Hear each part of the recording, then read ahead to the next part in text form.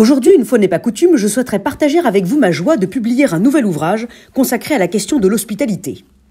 Coécrit avec Cyril Aouizerat, qui a cofondé les hôtels Mama Shelter, ce livre explore les ressorts de l'hospitalité. Face aux grosses questions philosophiques à majuscules comme la liberté, la justice ou le bonheur, l'hospitalité pourrait sembler une intruse.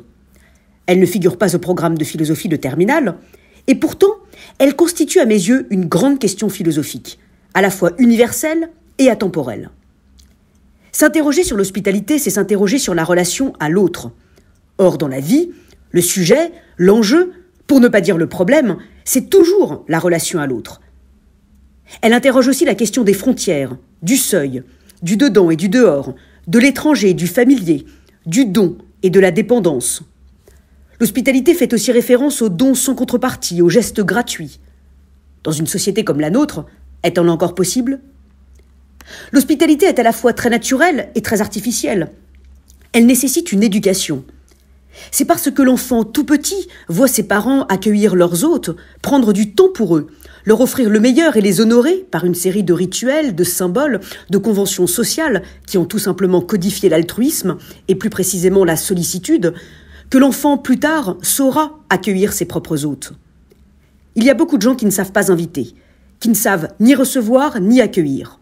Et l'on oublie que l'hospitalité nécessite un apprentissage. Qu'est-ce qui fait que je fais un peu de place en moi pour faire de la place à l'autre? Sous quelles conditions suis-je capable d'accueillir l'autre? Pour écrire sur l'hospitalité, nous sommes partis d'un terrain d'observation extraordinaire, à savoir les hôtels. Et si un hôtel était plus qu'un hôtel?